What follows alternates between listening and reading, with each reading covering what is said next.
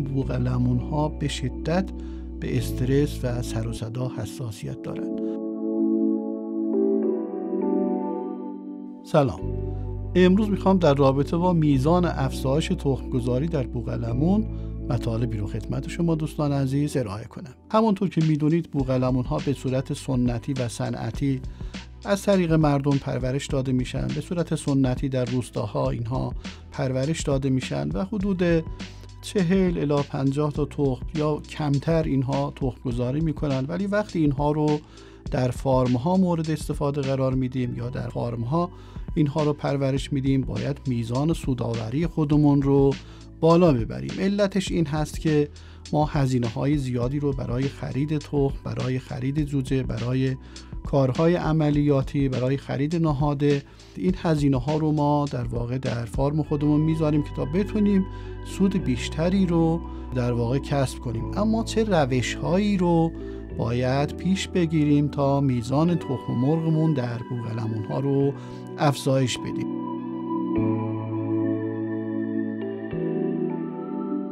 هر چقدر میزان تخم افزایش پیدا کنه به همون اندازه میزان سوداوری ما افزایش پیدا می‌کنه. نکته اول انتخاب نژاد مناسب است. دوستان ببینید بهترین نژاد تخمگذار رو شما برید انتخاب کنید. برخی از نژادها گوشتی هستند دنبال اینها نرید. اگر به دنبال افزایش تخمگذاری هستید حتما نژادهای تخمگذار رو انتخاب کنید که بتونید تخم بیشتری رو حدود 150 تخم می‌تونید از اینها بگیرید تا در واقع سودتون رو بالا ببرید. پرورش بوغلمون هم مثل سایر پرنده ها نیاز داره به اینکه شما یه چرخی رو تولید کنید. و در این چرخه هم تخم نطفه دار بفروشید همین که جوزه بفروشید همین که می‌تونید خودتون پرورش بدید و از این طریق درآمدزایی کنید.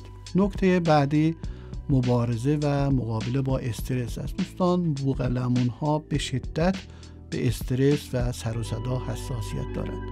اگر ما می‌خوایم بوغلمون پرورش بدیم باید محیطی آرام به خاطر اینها در نظر بگیریم که بتونیم در واقع تخمگذاری اینها رو افزایش بدیم بتونیم در واقع استرس اینها رو پایین بیاریم سر صدا به شدت میزان تخمگذاری اینها رو پایین میاره به همین دلیل اگر محیط آرامی را برای اینها در نظر بگیریم میزان تخمگذاری اینها بالا میره. نکته بعدی بالانس کردن جیره هست. بسیاری از فارمایی که ما سرکشی می‌کنیم یا جیره ها اینها رو مورد بررسی قرار میدیم می‌بینیم که به هیچ وجه این جیره ها استاندارد نیستند جیره استاندارد هست که احتیاجات روزانه و متابولیسم پایه و احتیاجات نگهداری و تولید تخم مرغ رو برای بوغلمون فراهم کنه. دوستان ببینید چند تا نکته در این صحبت بنده بود که به اینها حتما توجه کنید. هم احتیاجات نگهداری خود بوغلمون و هم تولید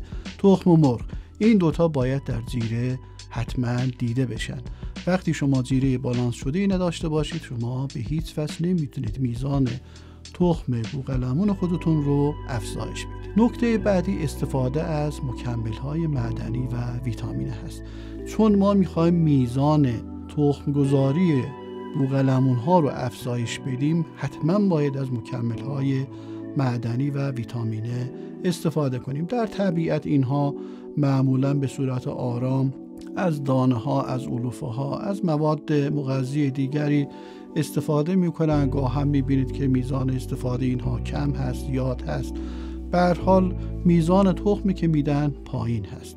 ولی اگر به صورت متراکم و فشرده خواستیم اینها را پرورش بدیم حتما باید نیازهای ویتامینه و معدنی اینها را خصوصا و خصوصا گفتم خدمتتون کلسیوم و فسفر رو حتما باید در اینها در نظر بگیریم و این احتیاجات رو برطرف کنیم.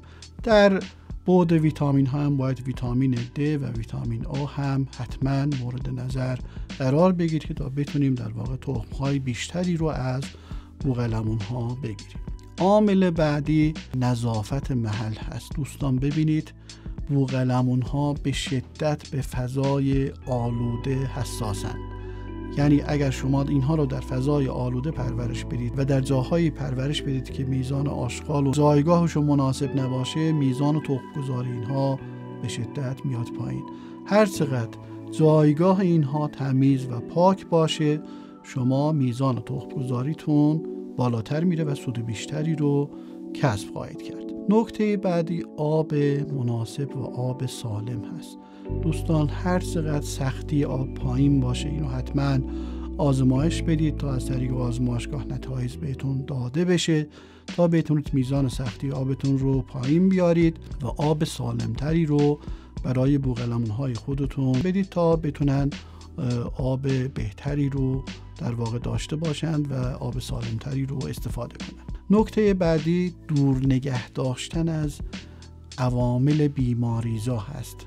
هر چقدر میزان بیماریزایی در فارمتون بیشتر باشه میزان تخم مرغتون میاد پایین. هر چقدر بهداشتی تر عمل کنید بیوسکیوریتی رو حفاظت زیستی رو بهداشت رو در فارم خودتون رعایت کنید به همون اندازه میزان تخم مرغتون بالا میره. اینا همش در رابطه با افزایش تخم مرغ در فارمتون هست. نکته بسیار مهم که در همه حیوانات و انسان همین ها موثر هستن. بحث نور هست. دوستان ببینید نور رو در فارم خودتون جدی بگیرید. به خاطر اینکه شما در حیات وحش می‌بینید میزان تخم مرغتون پایین است یا تخم بوغلمونتون پایین هست به خاطر این هست که میزان نور به اون اندازه نیست که شما تخم مرغ بیشتری رو برداشت کنید. وقتی اینها رو در یک جایی متراکم می‌خواهید پرورش بدید حتما به نور در واقع توجه داشته باشید. بوغلمون ها جزو پرندگانی هستند که به نور بسیار حساسند. یعنی شدت نور اولا اینها رو اذیت می‌کنه. میزان نور هم باید به طوری باشه که به نحوی باشه که بتونید یک تعادلی رو در اینها به وجود بیارید تا اینها بتونن از برنامه نوری مناسب استفاده کنند و از برنامه نوری که استفاده کردن بتونن میزان تخم خودشون رو بالا ببرن. پس نور یکی از عوامل بسیار مهم هست که دوستان باید حتما این رو مد نظر قرار بدم نکته بعدی آشیانه مناسب هست. اگر می‌خواید اینها رو در محیط سنتی پرورش بدید حتما باید یک آشیانه خوب برای اینها تأمین کنید. بوغلمون ها به آشیانه بسیار حساس هستند. معمولا در آشیانه ها تخم های خودشون رو دوست دارن بذارن. اینم یک نکته است که دوستان حتما رعایت کنن که میزان افزایش تخم بوغلمونتون هم از این طریق بالا میره. اینها مواردی بودن که دوستان اگر رعایت کنن سوداوری بیشتری خواهند داشت میزان تخم بوغلمونشون بالا خواهد رفت.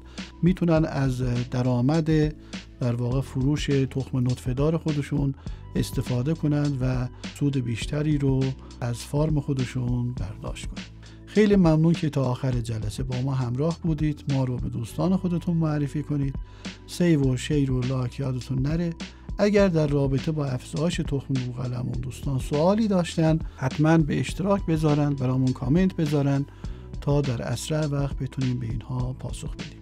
خیلی ممنون خدا نگهدار.